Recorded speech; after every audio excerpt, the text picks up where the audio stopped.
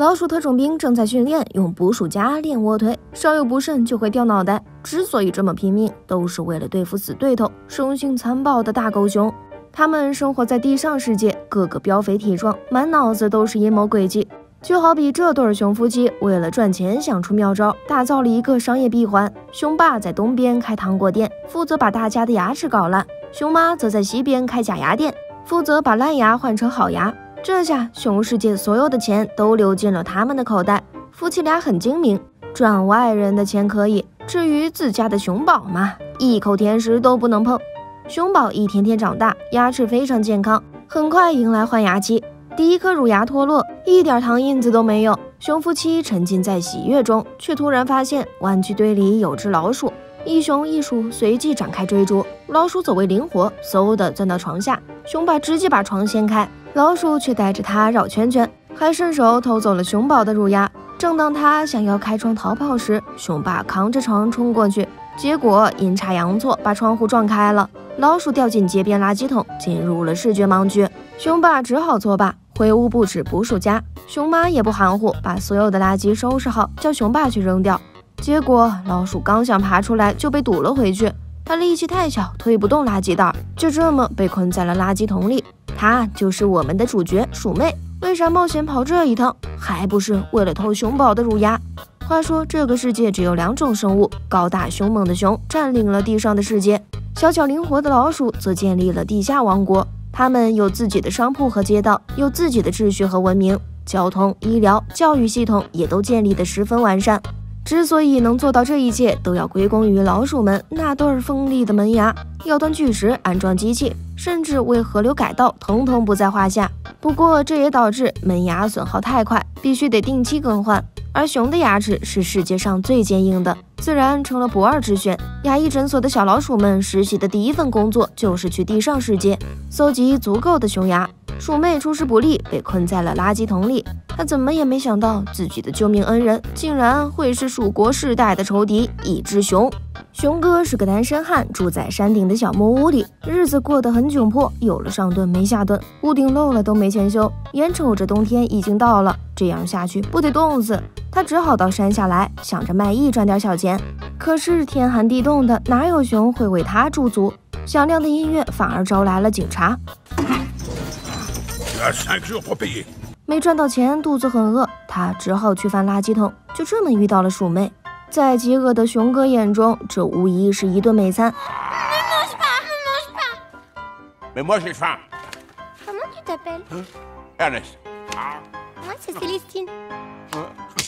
鼠妹气势很足，你看看我瘦骨嶙峋，难道能让你吃饱吗？我倒有个好建议，你往这边看。原来一旁的地下室是熊爸糖果店的仓库，在鼠妹的帮助下，熊哥成功闯入，开始埋头苦吃。虽然靠着聪明才智捡回了一条小命，然而回到地下时，鼠妹却遇到了大麻烦。别的小老鼠都搜集到十几颗牙，它却只能交出一颗，难免会被骂。导师说他不务正业，只顾着画画，怎么能当上牙医？随后下了最后通牒：如果第二次考核前不能带回五十颗牙，你就等着被淘汰吧。鼠妹只好再次来到地上世界，没想到又遇见了熊哥。这家伙实在太笨，竟然在人家的仓库里打盹儿，结果被逮个正着。熊爸立马报警，熊哥想逃跑，无奈吃的太胖，卡在了窗口上，还是被警察抓走了。然而谁也没有注意到，鼠妹竟然悄悄潜入了警车。她和熊哥做交易：我可以救你，但你也要帮我的忙。熊哥连连点头，终于重获了自由。当晚，他兑现承诺，和鼠妹一起来到熊妈的假牙店。要不说他是憨憨呢，上来就拉卷帘门。行，还不听劝。熊哥冲进店里，噼里啪啦一顿翻，差点给人家房子拆了。幸好没被发现。鼠妹带着整整一麻袋的牙回到了地底世界，瞬间成为偶像，受到鼠民们热烈的追捧。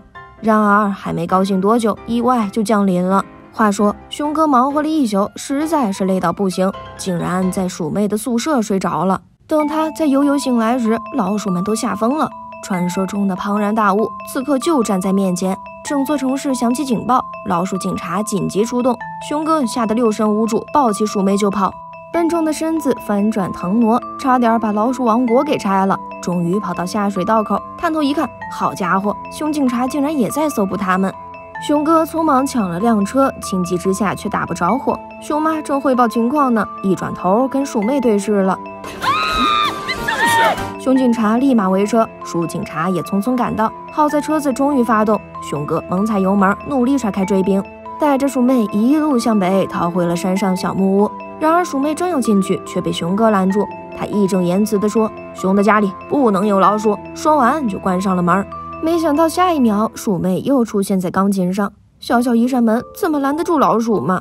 熊哥一遍遍丢他出去，他就一遍遍跑回来。拉锯战持续了好久，熊哥终于放弃。好吧，你可以留下来，不过得住地窖。鼠妹赶忙答应。就这样，同居生活开始了。换新家的第一晚，鼠妹做了噩梦，她梦到被一群老鼠警察包围，差点就要窒息了。从恐惧中惊醒，他意识到自己正被熊哥抱在怀中。他试着敞开心扉，说起自己的经历。我是世界上最孤独的树，没人理解我的梦想，非要我做牙医。熊哥表示很懂。我们家世代都是法官，我却想做编剧，所以打小就不受待见。两个边缘化动物决定抱团取暖。熊哥化身大暖男，自告奋勇做模特，陪鼠妹画画。然而没过多久，他就病倒了。可不是嘛，屋顶的洞还没修呢。这下换成鼠妹翻过来照顾熊哥了。一来二去，他们建立了深厚的友情，在一片欢声笑语中安稳地度过了冬季。然而与此同时，熊鼠两个世界都没有放弃寻找他们。冬天大雪封山，这才隐藏了行踪。可随着春天到来，冰雪融化，当时抢的红色小车就变得越来越显眼。为了不被抓，熊哥决定将它涂绿。这下可以放心了。然而，他们都没想到这天夜里会下起大雨，山坡变成了大滑梯，小车一路向下，向下冲进了熊爸的糖果店。绿色颜料被雨冲掉，形成了一道鲜明的痕迹。两方警察接到消息，迅速出动，连夜上山。第二天一早，鼠妹醒来，木屋已经被包围了。她赶紧把熊哥藏进地窖，想着我是一只老鼠，应该不会被熊抓吧。事实证明，她想多了。另一边，熊哥刚躲进地窖，就看见墙上裂了一道大缝，原来是鼠警察一路挖挖到这里来了。就这样，熊哥和鼠妹双双被丢进了监狱。无论狱警怎么逼问，都不肯说出对方的下落。很快到了宣判的日子，剩下两座法院同时开庭。鼠妹据理力争：“我们有什么错呢？熊哥快要饿死了呀！”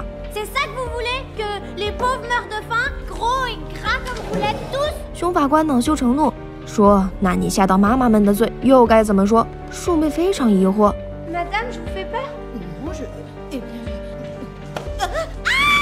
另一边，书法官则指控熊哥吓坏了孩子们。熊哥表示冤枉呀！